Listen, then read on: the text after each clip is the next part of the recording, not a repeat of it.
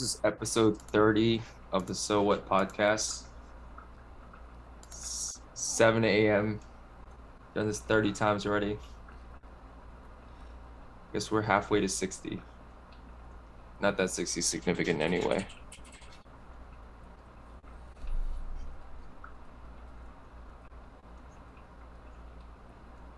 Both Hack and I have have sub four hours of sleep or something like that. I was thinking we could like bump this podcast up two hours and then call it the 5 a.m. podcast. Oh, that's an idea. But then that would just be obnoxious in terms of how Yeah. early we'd have to get up. Yeah, that would be super obnoxious. We can do one. We should do one test though, like in the spirit of experimentation. It'd just be fun to have a test. Yeah. You want to do next week? We get up at 5 a.m. yeah, we could. Yeah. Um, Oh yes. let's get into it, three let's get- Let's get into the 5 a.m. topic because we just did the 5 a.m. thing. Oh yeah, that's right. Okay, so this week, uh, the weekly challenge. It wasn't. It was actually a one-day challenge. Uh, Steven said that we should just try to wake up at 5 a.m. on Sunday because I've never gotten up that early in my life before, and so I did it. And um, I guess we're just here to talk about how how it went. Um, did you want to go first, or you want to talk about my experience? You go first. You go first. It was actually interesting. Okay, so I knew that because I had never gotten up at 5 a.m. before, I like had to kind of prepare for it. So I I think it had to be had been absurdly early for me. Um, I mean, 5 a.m. is absurdly early for anybody, but if it was like let's say 7 a.m. or even 6 a.m., I could probably be like, you know, I could probably just get six hours of sleep and go to sleep at, you know, uh, 12 or 1 or whatever, and then and then just kind of like grind through it. But then with 5 a.m., it was like, okay, if I didn't plan for this, then it's gonna hurt tomorrow. So then I think the fact that it was absurdly early uh, made me have to. I think the night before I tried to wind down. You know, I stopped um, stopped using uh, like cell phones um, as much uh, going into like you know nine o'clock or whatever. Um, started wearing my blue light blocking glasses I've had for probably like two years now. I've worn them like twice. Um, uh and uh, just kind of like watched what I was doing like before bed and then made sure I got into bed by a certain time. Um, so got up at 5 a.m. And I think one caveat is getting up at 5 a.m. But if you can get up at 5 a.m. with a regular amount of sleep, then that's like a that's obviously like a huge game changer. um, so, anyways, I got up at 5 a.m.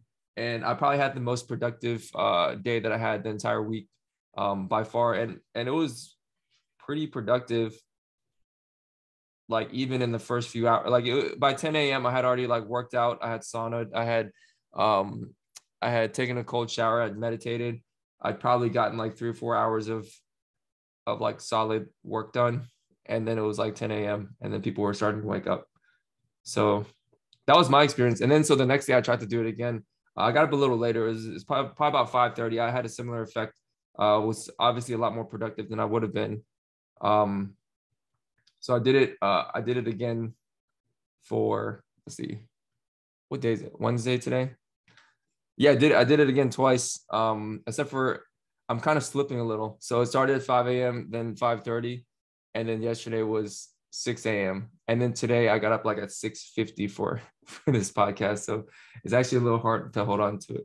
Um, but yeah, it was a great experience. I, I'm, I'm, I think I'm gonna try to wake up earlier because it's very noticeable that that's like um, a keystone habit that kind of like because you're you're not like you know how we're doing the challenges where we're like oh yeah let's like stay off our phones or let's like do this and this. Um, well, if I got up at 5 a.m., it effectively like all that time that I spend dicking around on my phone is usually before bed anyway. So you automatically eliminate all that stuff, and it's not like I'm gonna be up at 5 a.m. like you know watching TikToks and then so it fixes like a bunch of these other challenges that we're doing. So I feel like this one might might be the one that takes it all, but it, it's the one that's the hardest. So yeah, that was that was my experience. I love that man. Yeah, and I've had I've had streaks of doing 5 a.m. in the past, so I think I think it's, it's great to hear you get I think a lot of the conventional benefits Uh, I certainly experienced the same before. Not so much this time. This one was a little bit of a shock for me getting back into it. I'm not gonna lie, um, but you're right. It's actually really interesting. 5 a.m. is not one you can kind of like ease walk your way into, right? Like the difference between 5 a.m. and 6 a.m. is like significant, right? Um, because if there's any buffer at all you know, let's say you wake up at if let's say you want to give yourself 15 minute buffer and wake up at 5 a.m. That alarm goes off at 4:45, right? Uh, if you're that, if you're you can be trusted to kind of ease yourself out of bed. So, um, yeah, for me, it's it's just incredibly silent, and I think that what's interesting is that like 5 a.m. It feel like you know when I was growing up and I was younger, I always I was the night owl. Um, you know, like all my peak productivity came in those like you know uh, hours of the night. But you know, obviously those aren't wasn't like the healthiest lifestyle to have. But 5 a.m. is interesting because I still feel like I'm kind of in that mode. Like everything's just really quiet. Um, you know, with my thoughts. So yeah, yeah, really good I think, stuff. I think the night thing, like getting a lot of work done at night. For I mean that that happened for me too, like all throughout college and, and everywhere else. But I think that was more well, a procrastination, right? So obviously, um, it gets pushed to the last minute, and then so night just happens to be the time.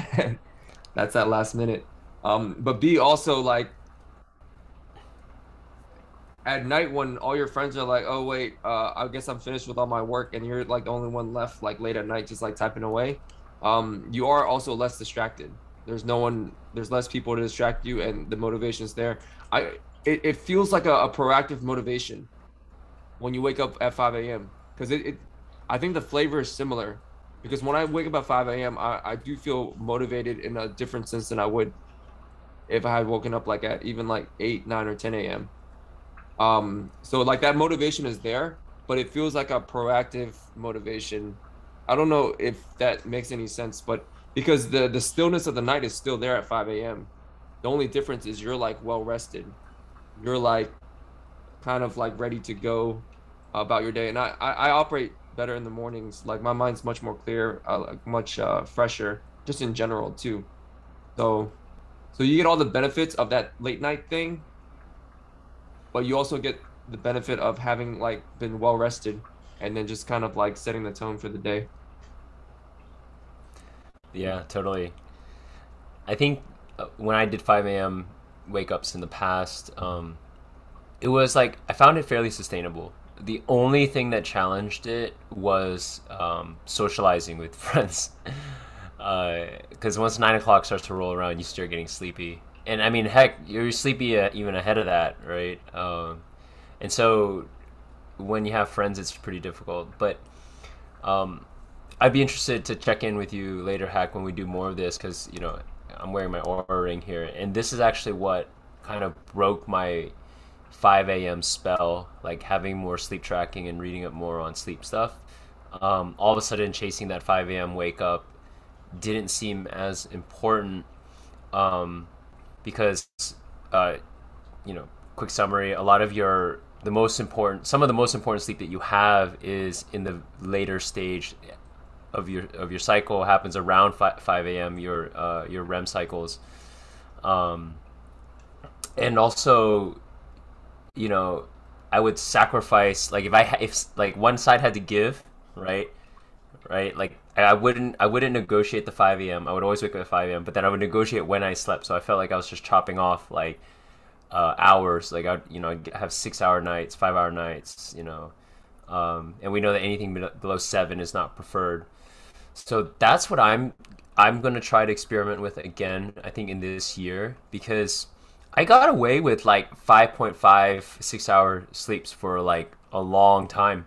And you look around uh, a lot of people do the same, but um, I don't know exactly what you're giving up, especially now with new sleep studies coming out and what have you. So it is it is a hard balance, but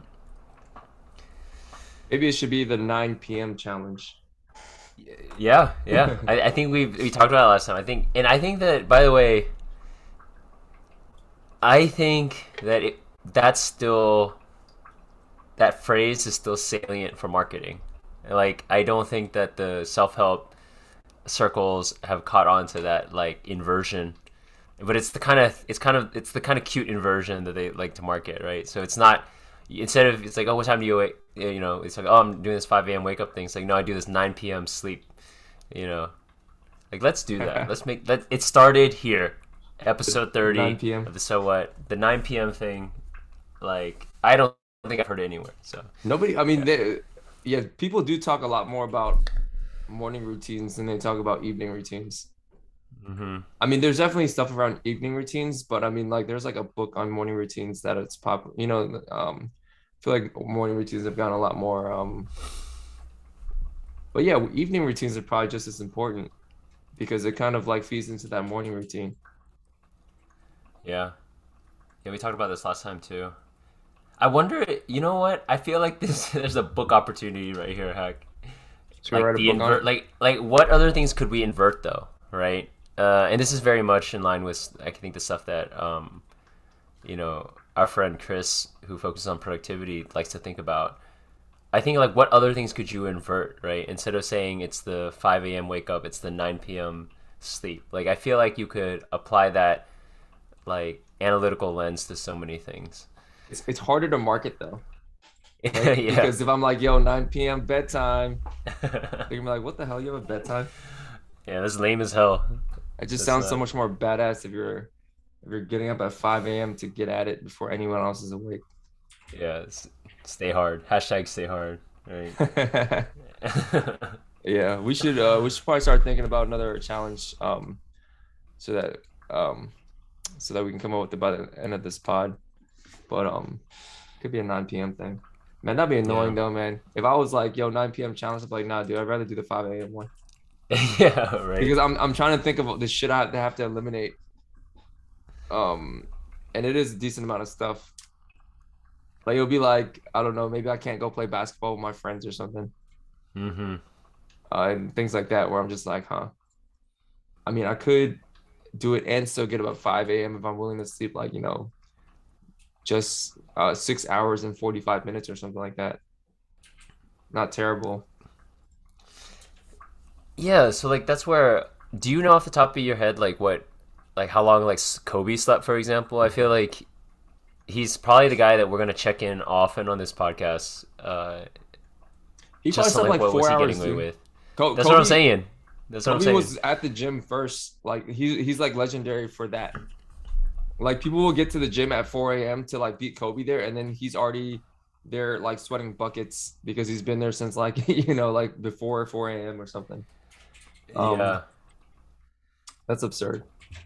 Yeah. So I wonder if and so that's what I think about a lot. Um, I wonder if I mean a part of what makes him unique is also like the genes that allow him to require less sleep. You know, uh, you know, obviously don't want to take away from hard work and talent and stuff like that. But I always like to think that you know everything here is you know a lot of it is by chance. A lot of it. Uh, I wonder if he just needs less sleep. You know. So I might try to push that. It might not be the healthiest thing. This year I might try to see if I can get to five hours of sleep and see track it. But like I have to get my my life super stable, so it's like a meaningful sacrifice, right? Otherwise, there's there's no point. But Do you like poly- polyphasic sleep? oh man, yeah, yeah. I've heard not so good things about polyphasic sleep. Um, I was I was thinking about doing that at one point in my life when I was first getting into poker because I was like, man, this is not gonna last more than a year. I need to like just be playing like every all hours on end. mhm. Uh, but that would have been absurdly obnoxious. Like, there's no. I'm glad I didn't do that one.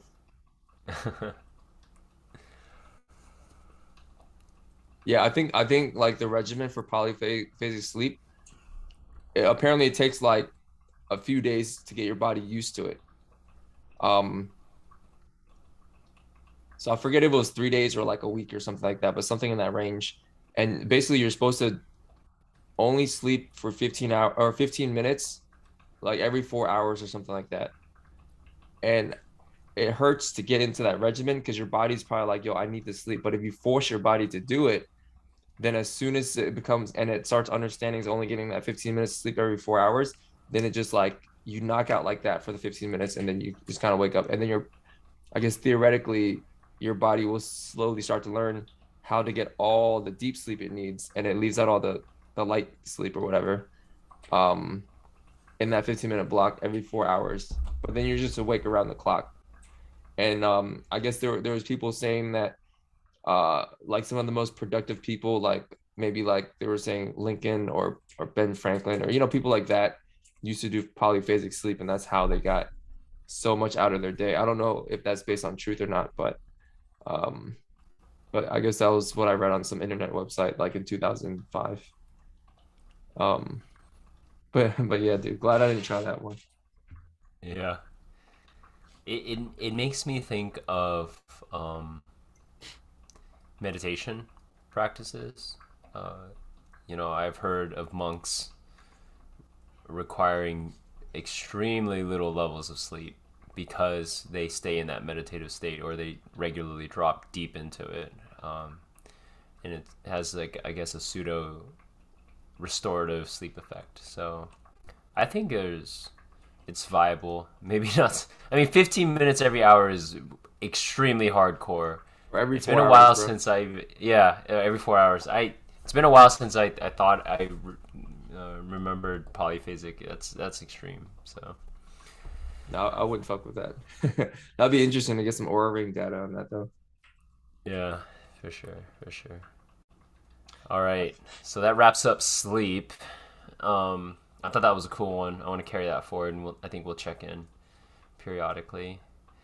Uh, any ideas for this next week's challenge, or maybe it'll arise as we go as we talk?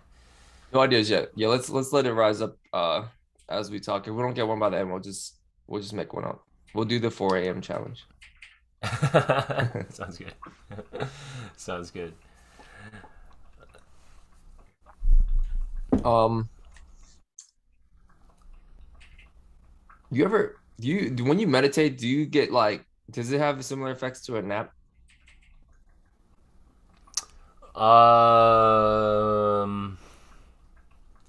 I don't know. I can't say.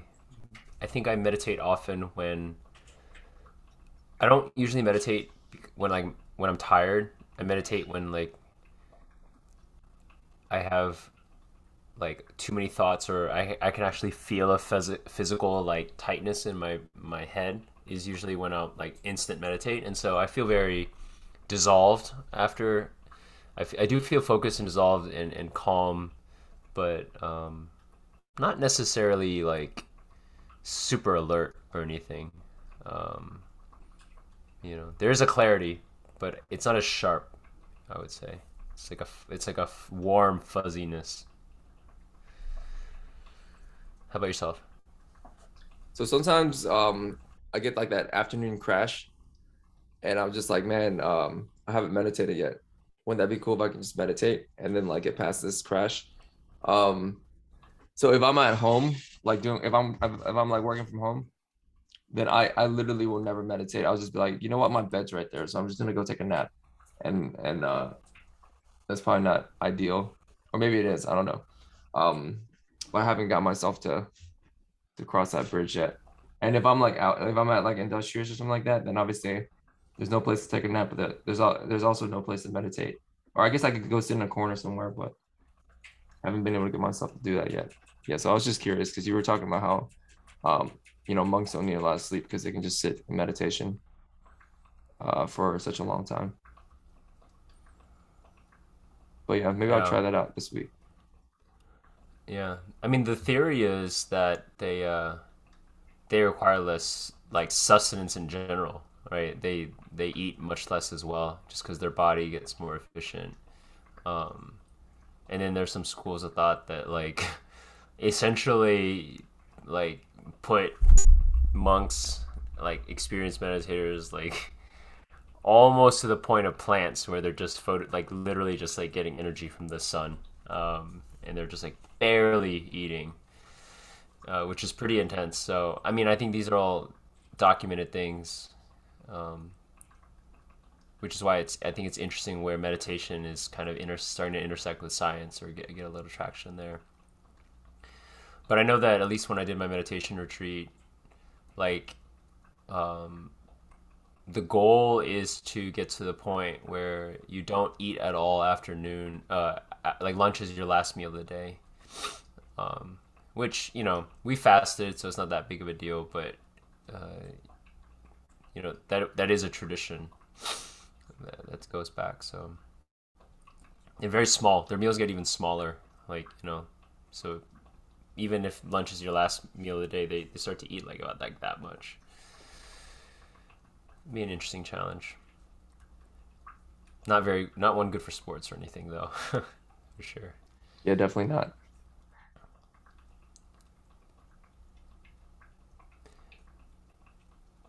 Has your meditation practice changed at all? Like, when was the last noticeable change in your meditation? Um, so I've been working with a meditation coach dude, but he's like kind of more like a almost like a a Buddhist uh, teacher, I guess would be the best way to describe him. So he teaches meditation through the lens of of like the Buddha, and um, a lot of the work that he does, uh, and and it's because it's interesting to me. Like uh, we kind of hop on Zoom, and I think I I kind of like went through like most of his curriculum. I mean, it's not like there's like or like what he had initially intended to teach me. I'm sure there's like obviously like a, a whole lot more. Um, but then he just starts talking about like a lot of like Buddhist uh, philosophy type stuff, uh, and he's teaching me that stuff now. Um, but when he was teaching me the meditation, and then we we all we always like touch back on the meditation to see how that's going. Um,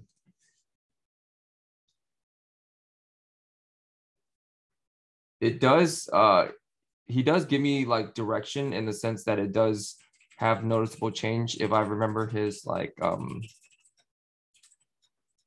his uh I guess like his instruction it's not like instruction as in like like hey like one two three four. Uh but he'll he'll like I think like maybe a couple weeks ago he was um he asked me to before going into the practice um just uh try to contemplate on the on the idea that everything is connected and everything is internal and just things like that. And so I'll go into my practice and think about that stuff. And I, I do notice that a lot of times it does have a change um the quality of the meditation and the quality of the experience during like the 20 minutes I meditate uh is much different or not it's like noticeably different in terms of um what it becomes after that um he teaches he he teaches uh so I, I think through the through meditation for, uh, from the from Buddhism's lens, there's like 16 distinct stages. Uh, there's four tetrads, and then it's 16 stages. So there's four stages for each tetrad, and then um, it's like a it's like a path that you actually are supposed to follow, and like stage 16 is like enlightenment, and then so you're supposed to like follow this like path to get all the way from one to 16. Um, I don't think uh, many people ever get to 16. Uh, that's not like a, um,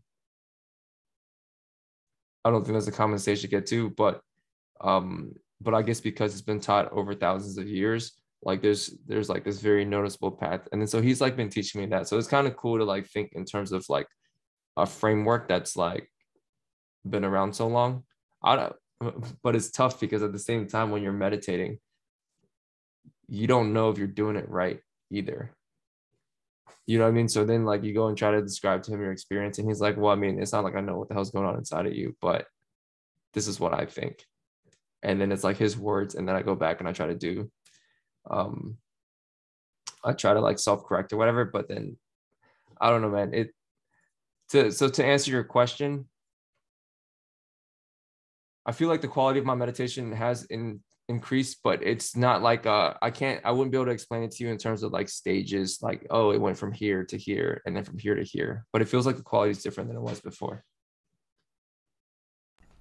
That's super cool. Um maybe a tangent, but has he ever has he talked to you about reincarnation or uh, karma yet, or has he wove that in woven that in, or um, maybe the he I, I feel like he's talked about karma, but like it kind of like probably like brushed up on it, uh, on Uh-huh. like the topic, but then like kind of like veered into like a different direction. But he's the type of dude where I was like, yo, can you tell me what you think about reincarnation? He probably have some pretty cool ideas um, about it. Um, but yeah, I mean, it's it's interesting because I think he he's into like the. I I'm not sure why I got into meditation, uh, but there's like a, a certain um. For me now, at least, there's like a certain level of curiosity as to like, like what the hell like this all is in terms of like when I say this all is, I mean like like reality, the nature of reality or consciousness and like like why is why are we even here and what is like how did we even get to the point where like I'm experiencing like this? Like why why why does this exist as opposed to like I don't know, like nothing. Um and, and what is this like consciousness and, and and whatever, right?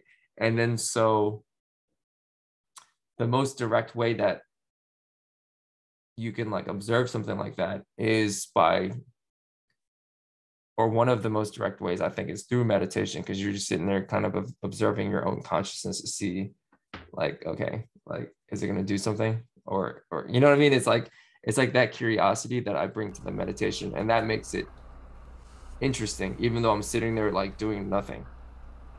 Because if you're interested in in in like what that consciousness is and you and you still your consciousness or sit as still as possible then you're like all right let me try to observe this thing. As if you're like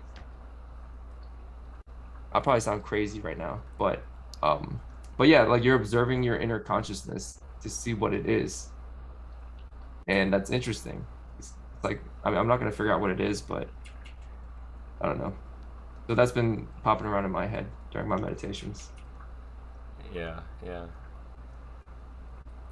yeah. I think that's super interesting. Um, I think it's funny, even just now you you use the word inner consciousness, uh, but really it's all consciousness, right? Um, I think something that always trips me, uh, and is great to think about is, um, you know, they a lot of the instruction is to uh, observe the present moment, right? Like without judgment, whatever arises and whatever goes. And the number one rule of, of meditation or Buddhism or anything is that everything will come and then everything will go. And when I imagine like when somebody like appears in my field of view, in my consciousness, right? They are like almost apparating. like they're not like you know what I mean? Like I know that they're there physically and all that kind of instance, but in the field of consciousness, they are arising like like anything else kind of just arises like and that always trips me up a little bit um in a good way in a good way and in many ways when someone is not around right? Like any like right now there's like 200 people you know 500 people 1000 people you know hack that they're not in front of you. So you're like you know that they exist you know that they're they're safe and fine and well and they're doing they're probably just now waking up or something. But they're not in your field of awareness in your consciousness right? And so where are they? Right? What are what are they doing? What are where are they are they what's what's the nature of their reality to you in this moment right? Um, I think it's it's quite interesting. And, and these things arise people arise feelings arise everything arises and just like you know you know I suddenly feel like my stomach starts to ache or like a headache comes you know like these things just pop pop and then they go. Super cool. I think that alone is like really interesting. Um, I know that for myself what has been interesting is the resolution of noticing has has increased um, I one of my go-to meditation things is I and I mentioned it just now like I always meditate when I feel like the area behind my eyes is getting a little too tense. Um, and just undoing it. And recently I've been practicing putting that I mean this is like where most 99% of people think that they are, right? They think that they sit in this stare or in this chair behind the eyes. Um, and I've been able to like recently move that same sensation like to my elbow, for example, and make that the center seat of my consciousness. Like right now, all of Steven is being driven out of his elbow or you know and, and, and kind of like putting putting myself in different parts of my body until like you know at one point I'll be looking out of my knee, right? Like uh, it reminds me of the the one analogy where a lot of times people make this fa- uh, fallacy. They think that blind people see black, right? Like you close your eyes, like oh, this is what blind people must see, but they don't see, they don't perceive anything. They see what is akin to trying to look out of your elbow. Like if you try to look out of your elbow right now, what happens? There's nothing, right? And so that's that's a fun trick that I've I've used to kind of undo my brain, if you will. trying to undo your brain. yeah. It's funny. undo the brain. We're looking at my elbow. right. But it's funny because like even in a body scan sense, like you, if you try to look out of your elbow, all of a sudden you'll be hyper aware the sensations are on the elbow, right? A lot of meditation tells like teaches you to instructs you to like feel the temperature difference in the air, right, in that part of the skin. Um, you know, the moisture gradient, all these kinds of things. Like if there's a itch somewhere on your body, like itches are oh oh my gosh. I feel like every meditator has this like really tough relationship with scratch like like getting an itch in the middle of a, a practice and you're just like, oh my god, I cannot scratch this thing. I just have to observe it. But oh gosh. Yeah. yeah, I mean that brings up the topic of attention and it's um I mean there's something to be said about like being able to place your attention wherever you want to place it. That's like the that's like uh one way to control your experience. It might be it might be like the foundational way to control your experience. Like, you know, you're you're putting your attention on your elbow. But similarly, wherever you put your attention, that changes up your experience. Um like so much. Imagine your meditation when you're sitting there making your like, you know, trying to like feel out of your elbow or look out of your elbow instead of like from like this natural place inside your head. Um, that changes things up. But then like attention, it's like you know, sometimes you have control over that attention and you're aware of the attention. You're aware that, oh, yeah, I got to place this attention somewhere. And you're actually intentionally putting it somewhere wherever you want it to go. But then there's sometimes when you like just come back to it and you're like, damn, the, t- the attention that I had placed was on that thing for like five minutes and I completely forgot that I put it there. It just got drawn there. And then it's like you lost the will, not willpower, but you lost your control of your attention. Yeah. Am I making sense?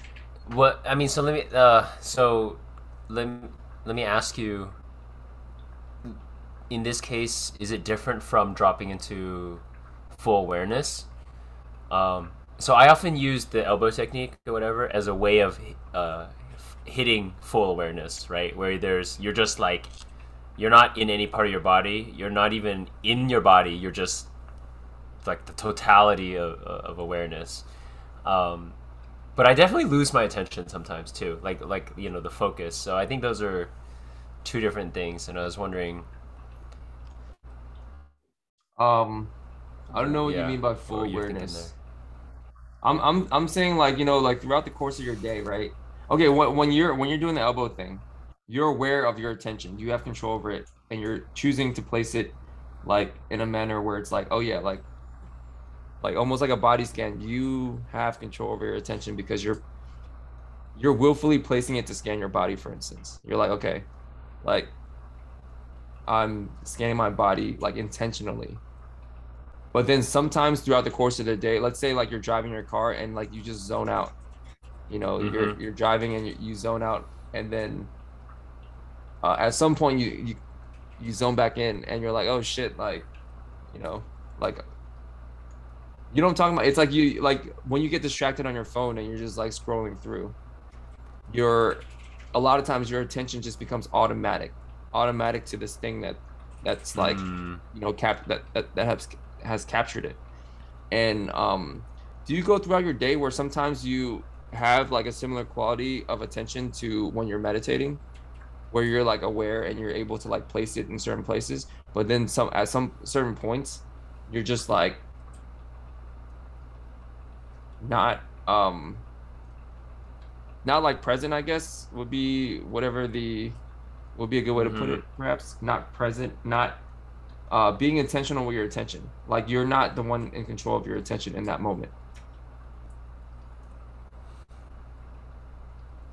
Um, yes, I, I do. And I find it very challenging to operate as both, and I think that's where the mastery comes in. Um, yeah. you think there's people that could just that are always in control of their attention or you think that's just an aspiration I think that there are absolutely folks that are always in, in control of their attention. Um, to use a One Piece metaphor, right, that I've used before to describe uh, non-being, um, like to be simultaneously in a state of non-form and form, right? Non-form meaning that you've uh, non-form being that you've you've kind of tapped into this awareness that there is no separation right like the separation is stuff that we like the human mind imposes on things right? It, it carves out edges right? And it, it starts to sequence things as cause and effect um, you know so the common common example is like you look at um, a plant and a flower right? Uh, we we separate that thing into dirt, the microorganisms that live on the roots, the roots, the stem, the leaves, the flower, and then the air exchange. There's nothing about that that is actually separate. All right. When you map it against time, we talked about time being a construct, right? When you map it against uh, physics, like it's actually this one continuous system. Um, with some arbitrary boundaries. And so in in I think with meditation and, and with like a lot of these spiritual practices, you start to undo separation that tends to invite um, equanimity and peace and composure and calm, all those kind of things that you would expect. Um, but then to now continue acting in the world of form and separation in humans, you have to be able to drop back in, right? And so going back to the One Piece metaphor, uh, there are these characters in One Piece. Um, you know, they get have all these special powers. You can have all sorts of special powers, but there's like a certain class of characters that have uh, elemental powers, where uh, and they're super. They're they're they're like super high class. They're like the toughest ones because what happens for these guys is if you like stab them right your weapon goes right through them because like let's say there- there's one character who's made of fire right he's he looks like a human he can grab a cup and drink it right he can do all of these human things but he's substantially formless right? He's just cho- chosen to manifest into this little human and so that's so that, that there's so much power in that right? Now the only time that you can actually like hurt these guys is one just ends up you know if you have like the one power that like counters theirs or you catch them off guard right? If they know it's coming they can make themselves like absorb it or cut through but let's say you blindside them right and they're not ready. And so that, that's like a big metaphor for me too when like i can if i, I meditate and i let's say i have a really good morning session and then i go back out into my day i tend to be more in this like non-form state. I have to apply my discernment and judgment and and this is where you said like leverage my attention for uh, for ways that I deem positive, right? To to not to actually act in in f- with as much much willpower as I actually have available to me at any point in time, and not like just being susceptible to being reactive and stuff. Um, but if I like don't have my focus or awareness or something catches me off guard, like I can get taken out again. So, um, yeah. So I, I, I don't know. I think to, going back to your question of like, you know, losing your attention or being in that like full awareness, not like non-focused state, but still pointing it where you need it to be. I think it's your 16 stages. I think it's it's got to be one of those stages. Um, I, I would I would imagine. Yeah, that's interesting. The um, I think you explained that pretty well. The idea of non-form and form, and how like the mind creates uh, separateness because the mind needs to have like the boundaries in order to hold the idea in the mind. So you see like these artificial boundaries because if you didn't see the artificial boundaries, you wouldn't be able to like convert that thing into a word so that you can hold it in your mind and think about it as a concept. But then because that's how the mind works, you have to undo that in a way to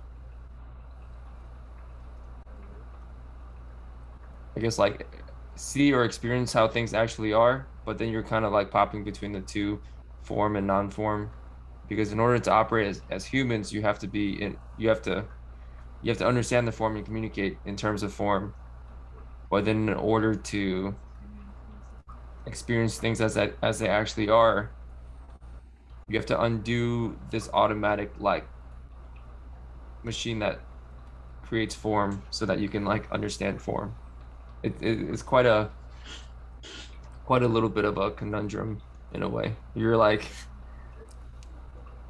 you can't well yeah, it's definitely a conundrum. Yeah. I mean, it's it's it's like playing that video game, right? And I uh I'm not ashamed to admit that like growing up even even into my more old state like into when I was a little bit older in my stages like sometimes I'd play a video game and I'd be I would I would completely think I was the character. Like the story would just be so good, right? And I just needed to beat this one boss and like oh my god, and the reward was this amazing sword, right? And like I was like fully identified with that video game character in that moment, right? Like, oh my god, look at like you know my guy's such a badass. He like conquered this thing. Look at his big sword. But it's the difference between being the character trapped in that game versus being the person playing that character, still having fun, but knowing that it's a game, right? And and like knowing that it's it's all this like made up thing, um, and that there's you can play it and it, get, keeps getting played over and over and over and over. Um, and this is where it gets very Buddhist, right? Like people continually are logging out, beating the game, coming back in, doing another playthrough you know, with a higher score or more completeness, you know, finishing the game, logging back in, um, and just realizing it's a game.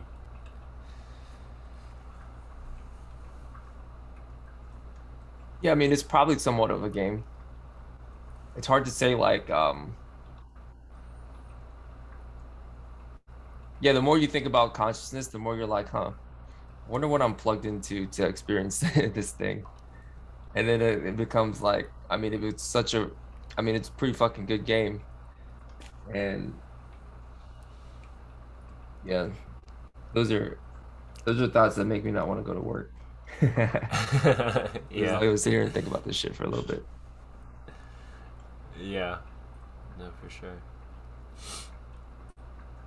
Yeah, and the idea of like, uh, let's say the idea of being in a simulation I think the word simulation uh, kind of confounds it or like makes it a little a little bit harder to or um I think in the past using the word simulation like uh confused me in the sense that it's kind of like well simulation equals computers. So that means we're plugged into computers and then experiencing all this as if we're playing like a video game. Um but simulation and video games are just analogies to whatever this thing is.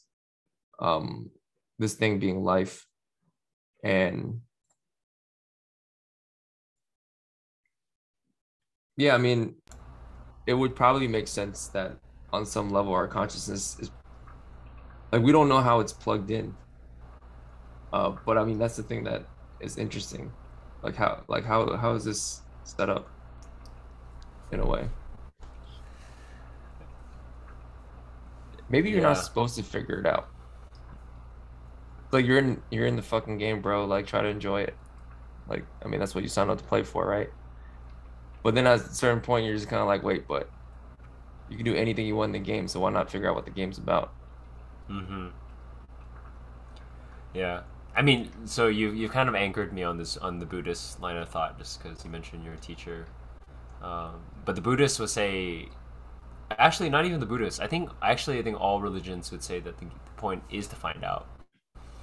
Um, but you can only find out by, and I'm gonna use Buddhist terms here, like burning off the karma that you were like born with or that you have, had, and so um, you have to go through it. Like whatever your individual journey may bring uh, like you go through it. But i think the ultimate goal is to to find that figure it out. And if if not you right in this one run through then like the you that comes back for another run through um and then overall like the goal is to get the the overall floor the baseline of humans right at that higher level where they they've broken through you know? And just by the way one thing that helped me understand this concept in buddhism about reincarnation what have you is like you know like we always think about reincarnation from like this like western egoic point of view of like i have a name grow up live a life and i die. And like i can't fathom like me being coming back into this thing right? But like that's the wrong first like n equals zero right for buddhists. Like for buddhists every single moment is rebirth. Like boom rebirth rebirth rebirth. Like every moment every every cycle right? Like this tiny little cycle here uh, of like you and me like sh- you know shedding sh- seconds off of every moment and then you know then it starts to like macro itself out. And in this way we are living like thousands of little lifetimes even like through the course of a day. And certainly through every time you sleep right? That's that's probably the closest thing to death like a regular death that uh, that we experience um, day in and day out and it's this idea that you know there was a Hack of yesterday. He's gone right? He was living out whatever karma he was living out. And now he's living out this you know another day. Um, and so yeah i think there's a lot of compelling stuff in in the buddhist school of thought on on that. If you can't tell reincarnation was one that as a skeptic and an early atheist like i got and as the spirituality continued i was like what the heck? I'm still trying to make sense of it and that's that's as far as i've gotten so far. So. Yeah, reincarnation is an interesting topic. And I guess thinking about life and death from the view of like a, a human, especially in the West,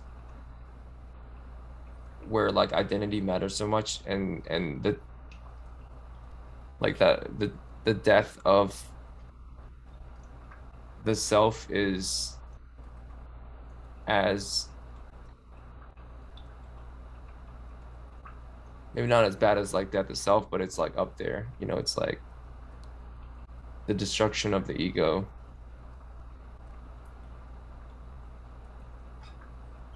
Yeah, I want to look more into Buddhism, perhaps.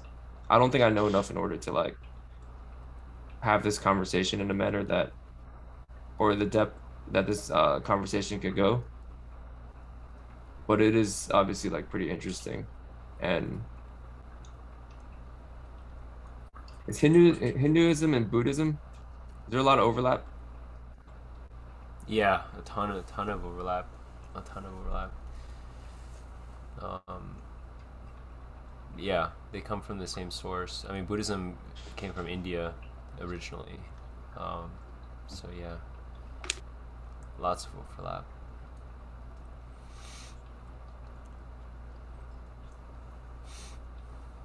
I think what's and, and maybe and I think to your point, you know, it's it's worthy of saving for a future podcast. But I, we've talked talked before about being raised Catholic, and I gotta say, probably the most one of the most significant breakthroughs for me in the past year was when I was able to connect everything from Buddhism and Hinduism back to Catholicism, and like my mind was absolutely blown. Like it was it was such an easy match like that i could in the same in the same paragraph i could switch between talking about hinduism buddhism or uh, or jesus and, and, christianity and it would be the, a, the same framework um, so we're going to talk about that at a certain later time i think that'd be really interesting because uh, my parents would be like, "What the hell?" And you know, probably slap me on the head. It's like, why couldn't you just list, like stay with this religion from the beginning? You had to like do this world tour. You have to do the world tour. You have to do the world tour. Yeah, yeah man. You can't. You can't just not do the world tour. Yeah. That's the point. The point. Or I think it is at least. You can't just take what's uh, told, or at least I, I probably wouldn't be able to. Um, but yeah, I think you have to do the world tour. Yeah. So, isn't that interesting? I think. I think some people have to take the world tour and some people don't. But I think having done the world tour, you're like naturally equipped to teach. You know.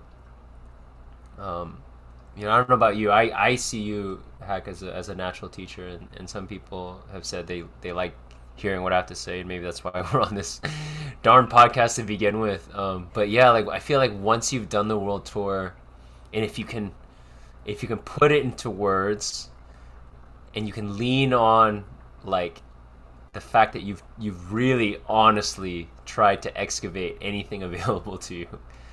Um, I think it, it's it, it turns into a, a very like profound thing and, and maybe like people that endeavor to do what we've been doing for centuries have been the ones that uh, update the culture framework, right? To update, like to bring it forward, carry it forward, the torchbearers, if you will. Like, if you think about it, because otherwise, um, like all systems need updating, right? All systems need to allow a part of themselves to die, and all systems need to bring in the new.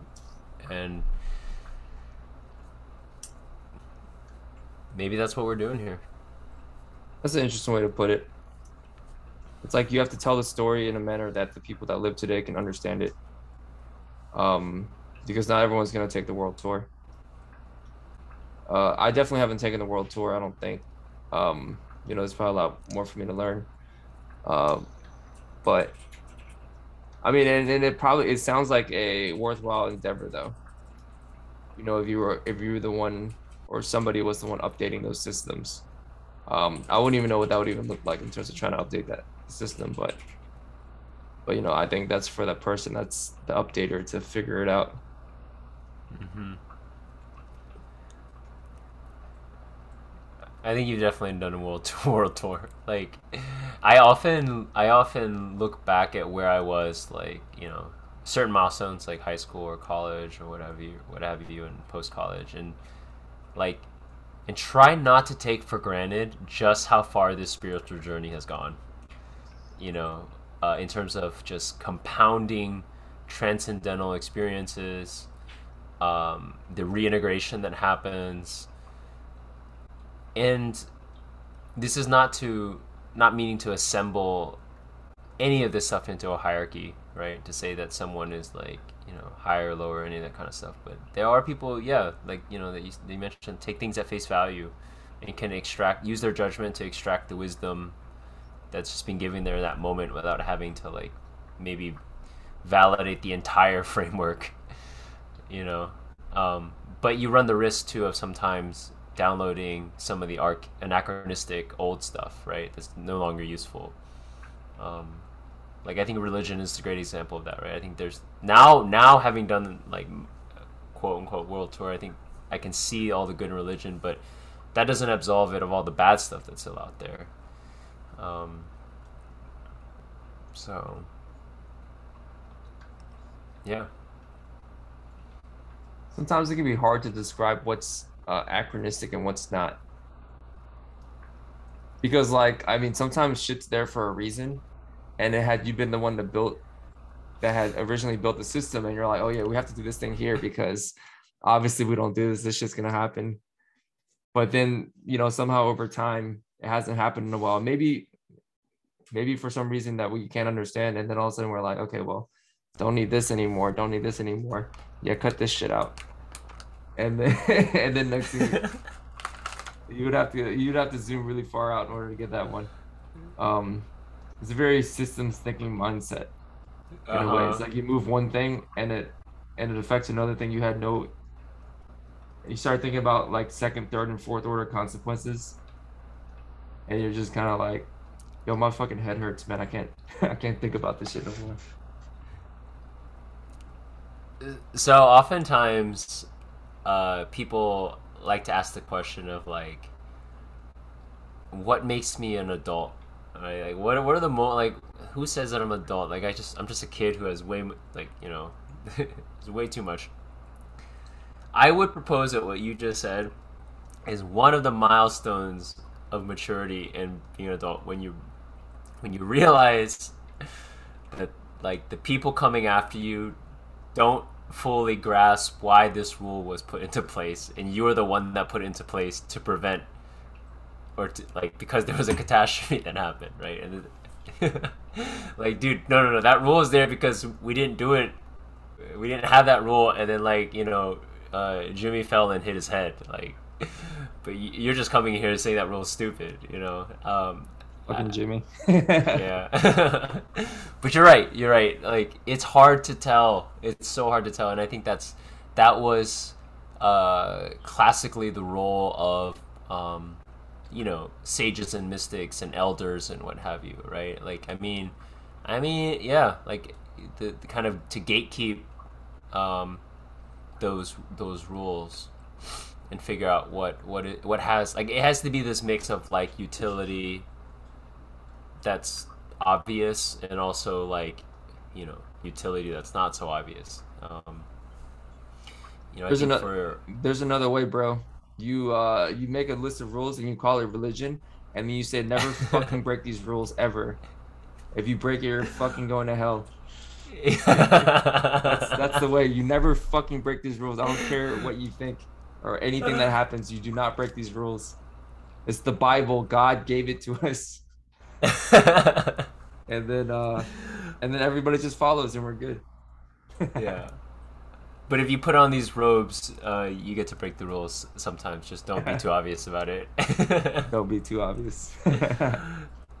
yeah. Oh god, it's so true. I mean, but but it's funny. Like like separation of church and state was revolutionary.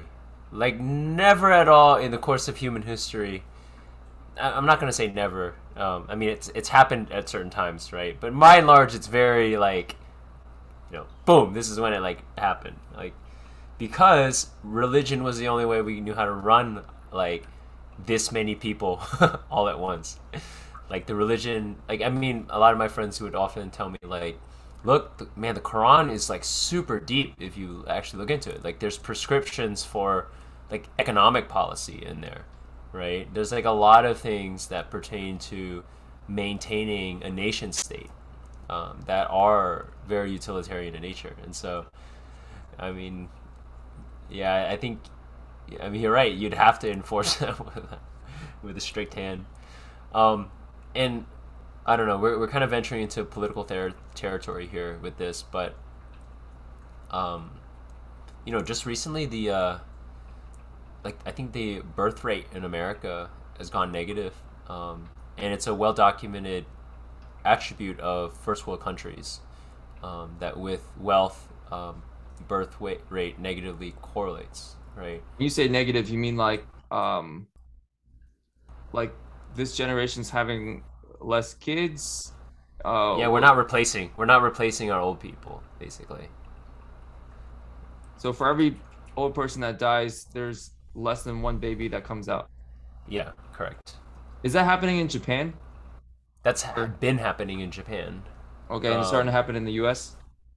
Yeah, it's starting to happen in the U.S. Right, like, you know, and then like uh, that movie "Don't Look Up" just came out too, right? Which is, I didn't, I haven't seen it, but what I hear, it's like you know the 2021 2022 version of Idiocracy, which was big, you know, uh, big when it came out too, as far as social commentary of like the decline of, of, of a first world country that's like just full of decadence and choice, right? And individual sovereignty. Um, you know, not to be too grandiose, I'm not an anthropologist or a historian or any of that kind of stuff, but I mean, we do seem to be at a certain inflection point where there's just there's just too much, right? Um, too much choice, uh, too much of everything. Um, and so yeah, there's certain signals that start to come, I think, with that, uh, and it'll be interesting to see how we we pick ourselves up from it, and and whether or not like you know this idea that the that the U.S. is just naturally riding out its decline uh, will be also interesting to observe because um, I don't I don't know about you, but like you know I I I've read this idea this argument that like um, basically everything that America has benefited from in the last half century is because of World War II, right? Like we stayed out of the war, tapped in at the very last second, right? Built up all these factories and did like full. That was the last time we like did full on, full scale. Like the every single citizen was like, you know, geared towards winning uh, and then the whole world got wrecked. Like you know, Japan got bombed twice. All of Europe got razed, and we had all of these factories that were uh, domestic that just got repurposed to like creating enormous commerce and um, and yeah, like it. But if you think about it, like what 50, 70 years is a blink of an eye, right? Um, all that all that wealth that we have. So it's I don't know again, not to insert doom and gloom or speak out of pocket, but it it does seem like we we just like are riding out our uh, like our boom as the boomers uh, you know start to sunset. That's an interesting theory, and it's probably it, it's like uh, you know when you play StarCraft or something like that, or uh, or when you play Han, and then like a battle has already started. And uh and you're like on the other side of the map. And it's you kind of just rolling in at the last second. Everyone's like half dead and you still have like your ult and you still have all your all your shit and then you just murk everybody and level up. And uh, and then uh and then for like a, at least a few um a few rounds or a few minutes after that you're like the strongest you're the strongest hero in the game. And you yeah, have all the best weapons basically and you're like loaded Basically. with like resources and shit. Yeah, that was so here's good, a... good timing on our part. yeah, really good timing. I mean, we were like notoriously isolationists. Like that's not up for debate. Like we, like we were way like that.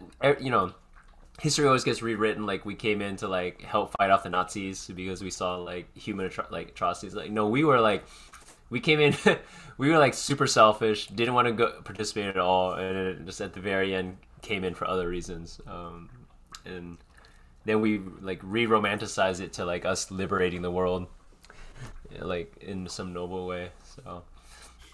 Which something that's really interesting to, uh, another topic that we might talk about in the future which is that like does does winning soften you, right? Like, does it just start a timer for like when you eventually fall? You know. Um, I know, for example, George St. Pierre, the UFC champ, right? He like he like retired early, because he couldn't handle it anymore.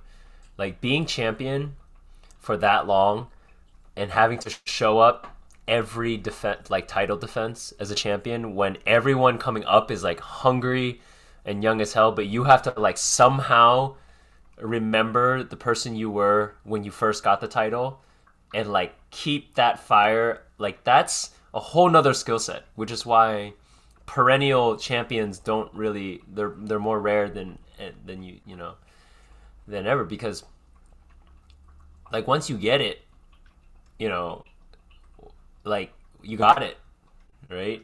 Like what you, what are you supposed to do? And then you know we talk about like our kids if we wanted to raise our kids with that type of humility and that type of hunger like if we give it to them are they just gonna not be able to strive um any like what what's that balance? It's like how do you know like is the fundamental premise that it does weaken you you know and that everything you do is is to to counter that? And then how would we apply it to our own lives right? Like what do we you and i have too much of right now that is preventing us from getting to our next level versus kind of just staying where we are? I mean, I, I do agree that like they say like the wealth like skips a generation or or um possibly because of that. Uh, you know, where like you know, our parents worked really hard, so we don't have to work hard. And then we don't know how to work hard because we never had to work hard. And then when it comes time to work hard, we can't do it. And then uh you know, so that our kids might suffer for that but then they have to learn how to work hard um you know because um because we can't do it and then and so their kids don't have to work hard and it just keeps like going back and forth like that um i'm not sure if there is a um there's definitely a balance for sure i don't know what that balance is for kids uh i would say i wouldn't raise my kids uh as a it's hard to say that until you actually have kids though because it's kind of like well i want them to go to good schools. Good schools are in the rich neighborhoods, you know. And if you and if you can afford that, you're not going to be like, well, you know, I don't want to, you know what I mean. So like, it's easy to say.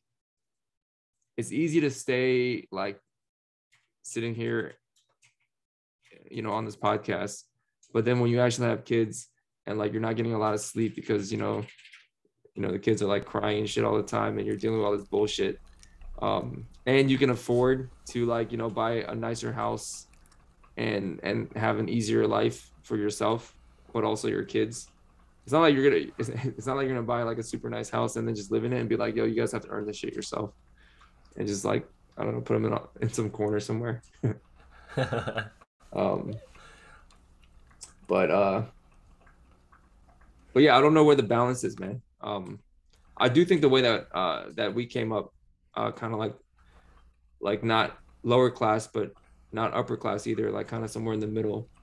Um it provides a good like you learn a lot of this uh, a lot of similar lessons that you would learn i think um you still get the benefit of working hard if you're like kind of like in the middle class where where where like oh shit, I want to get that thing, but I can't. So I have to work hard to get it. Um, you know, like I think even in middle class college isn't guaranteed like that you can pay for unless you're you kind of like plan for it and things like that. So uh, so there's yeah, so I feel like the balance has to be somewhere in there. And I guess you could also argue, well, you want to play the game on hard mode and and you know try to do it in lower class, you probably learn a whole lot more. But uh, but like you said, like where's the balance? I mean, I'm not trying to play it easy mode, but I don't want to play it in hard mode either. So. Yeah. Yeah, it's tough. I'm sure there are a lot of parents that have perhaps solved this for themselves. You know, talking it over with their their spouse. Um, it's not impossible, right? Actually, I was um, so I recently moved back in with my parents, and it's been a trip, as I mentioned to you before. Hack like every day, it's just been a trip. Oh, and one of the things I've been doing is just trying to sort out as much as possible of my parents' life, my family situation, um, and a lot of that uh, I've been talking with my sister like reflecting on our childhood and what have you. And even though I think that my my parents and us, we probably spanned the entire like spectrum and now up you know com- very very very comfortably upper middle class um and i we had this one memory of growing up when we were in elementary school my mom we lived in japan in this really cold like ja- uninsulated japanese home and my mom wouldn't turn on the heat uh, just to save money. And kim and i talked about how it felt like we were extremely poor but we didn't know it. Like we didn't like kim and i didn't know any better. Like we would wake up like shivering and then we would go to this little kerosene heater and like sit in front of it and i would literally like hang put my clothes up into the heater to warm it before i put it on.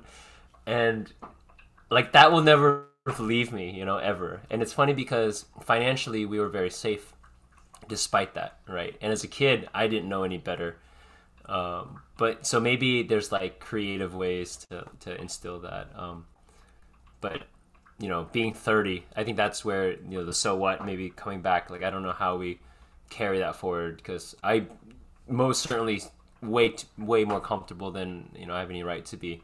You know where I'm at right now, and I think about that often.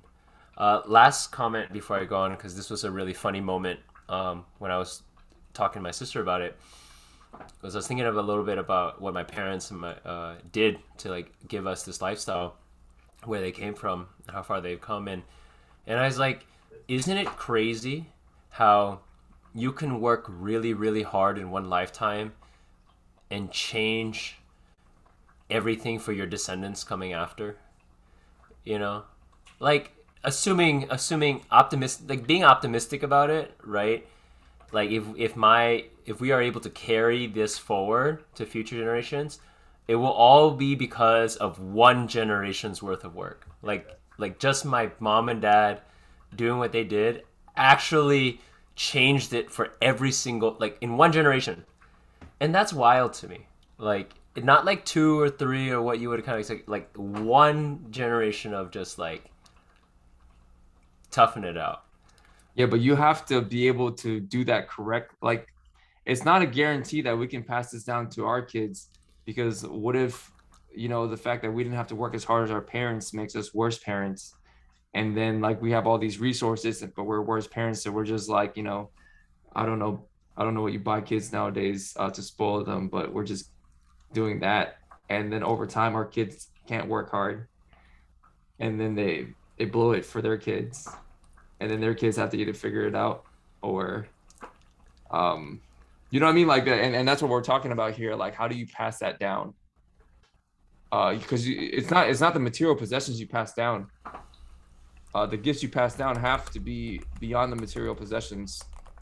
Otherwise it's um yeah i mean like the material possessions i mean it helps you like get runway to figure it out but you have to have enough struggle to understand that you are trying to figure something out. Yeah, yeah, we've come full circle on it, and it's not easy. Um, it reminds me of this quote by uh, this sheikh who who kind of built Dubai.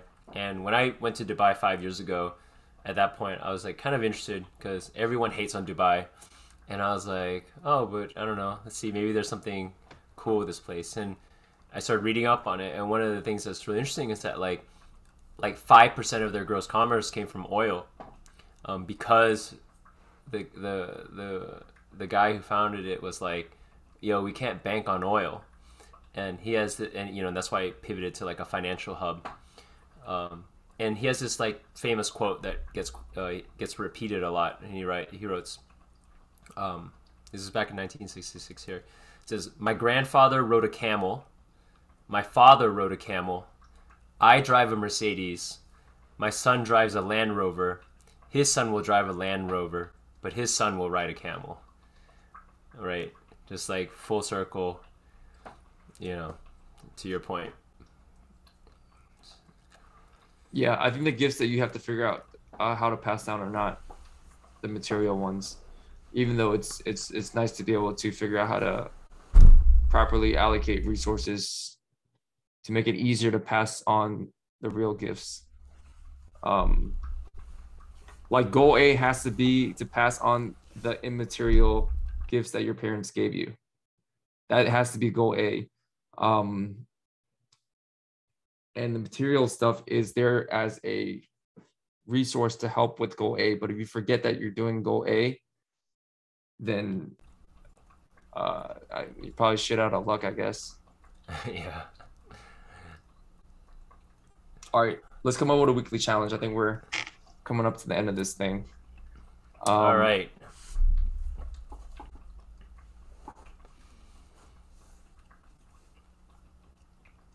I would do a. All right, let me think. I'm just I'm just spitballing here. Some sort of meditation challenge I'd be down to do. Uh, not sure if I'd be down to do some sort of hardship challenge, but I mean that could be a possibility too. Um, Should we give ourselves a, a weekly allowance and we can't spend over it? um, let me think about what I have to do this week. Depends on how much that weekly allowance is. I have a couple things I need to do, but I mean I could probably stay under it. It could be a food allowance or something. Yeah. Does eating at Um, home count? Because I mean I, I'm I literally just eat at home most of the time anyways. I'll just have to eat at home a little more then. Yeah. I do spend obnoxiously with food sometimes where I'm just like, you know what, I'm at Flower Child. All this shit's healthy, I'll just get it all. Yeah, yeah. So there's potentially a hardship challenge. There's meditation. I'd, I'd be down for meditation always. Uh, Um, Let's do a meditation one. I need to double down. all right. Um, should we do I feel like it should be a daily one. Um but uh but we also do absolute minutes um Mm. for the whole time. And then like if you if you're like fucking up then by like Tuesday you just meditate for the whole day. How about this? Oh. Uh, you have to you have to meditate for as long as you spent time on your phone. so you Oh that's that'd be a good one. Um you, you gotta pay. You gotta pay. It's a debt. Like like every minute incurred on the phone is another minute of meditation. Just like every thing, every donut you eat is like you know an extra thirty minutes on the treadmill. That's a good one. Um, I want to do that, but I don't know if I have the power to to that one. Uh, I'm trying no, to think. sounds so scary. No, it does. Um, that, that's probably why we should fucking do it. Um, yeah. Because then it forces you to, to be like, do I want to be on my phone for a minute if I have to go sit in silence for another minute after? Does that mean that you? Should, can we do a two to one ratio? Start this shit on easy mode or medium. mode? Okay. All right. Yeah. Yeah. All right. So for every every minute you, I'm There trying to two minutes out. on social media, one minute of meditation. Does that okay? So any minute on your phone, or or just bad minutes on your phone? Bad minutes, bad minutes. It's honor. uh, All of this is honor system, like you know. So, Okay, so GPS and stuff like that, or Audible, Yeah. you, can, you can deduct that. But yeah, I um, didn't count those.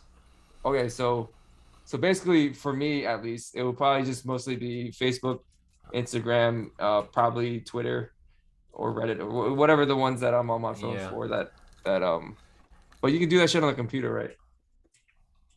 Yeah, yeah, yeah, yeah. I we're just waging war on the phone right now. Um, All right, this is what this is what's probably gonna happen. I'm trying to figure out how to game this system. Probably not gonna use my phone for the first three days and just meditate a whole bunch, and then for like the last three days, I'm just gonna be on my. I, I love that. I'm like, okay, how, how do I how do I beat the system? I mean, I'm not really beating the system. I'm probably just harming myself. But you know, all right, meditation and phone challenge. I like it. Uh, we just have to meditate for more than when we're on our phone. Uh, two to one ratio for bad two to apps. one. Yeah, two to one for bad apps, right? So yeah, just divide it into two. Yeah. All right, sweet. All right, um, I'm. We good to wrap this one? We are good to wrap this sleep deprived one. I'm gonna go try a nap after this. Yeah, me too. Number Stop- thirty. Stop recording.